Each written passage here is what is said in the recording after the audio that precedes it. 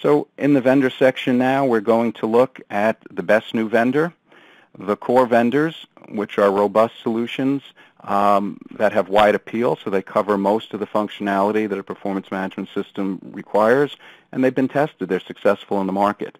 We're going to look at the overall customer satisfaction rating for each vendor, the reason their customers selected them over alternatives, which area of functionality got the highest rating for this vendor, budgeting, consolidation, reporting, dashboards, or analytics were the choices, and we'll end with the BPM Pulse Awards.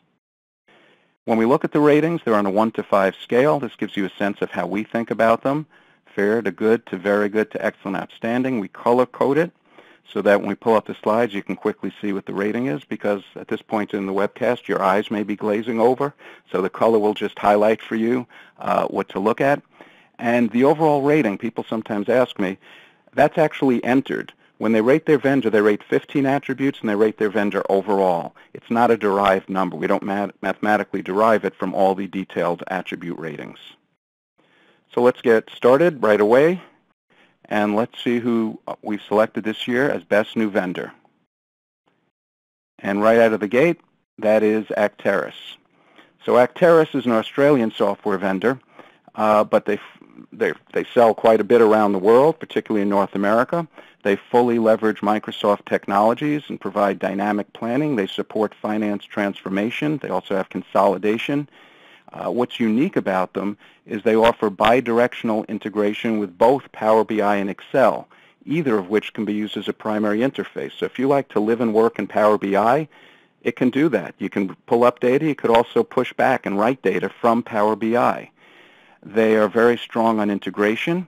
And now looking at the slides, since it's the first one time you're seeing the format this year, for each vendor we talk about specialized functionality they offer, complementary functionality, advanced, typically meaning AI functionality, what market they target, whether they offer an on-premise solution. Everybody in this list offers cloud, so the, the, the question is, do they also offer an on-premise alternative for that 22% or so that, that like that option?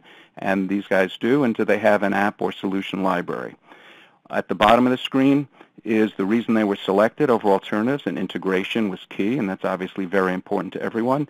And of the various functionality ratings, uh, which they get the highest rating for their customers. In fact, Acterys, it was budgeting and planning, as well as reporting, as well as dashboards. It was a tie.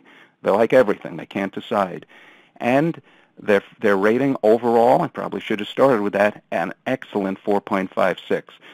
Now, we say they're a new vendor, and they are, only being around a couple of years, but they have hundreds of customers already, hundreds. Now, some of them may be fairly small, as you would expect with a newer vendor, but some of them are actually quite large.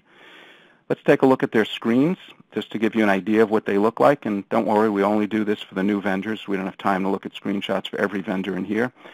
But this is showing a driver-based planning screen. And you could you know, modify the drivers by, by dragging the line and pulling it up or down, and so it's going to modify that in the model. You could enter data at any level. There's a collaboration pane at the bottom. And then just give you a sense of what a dashboard looks like in this product, since that's a very important analytics component. Uh, this is one of their dashboards, their finance dashboard. You can get the sense of, of the look and feel and how the data is presented.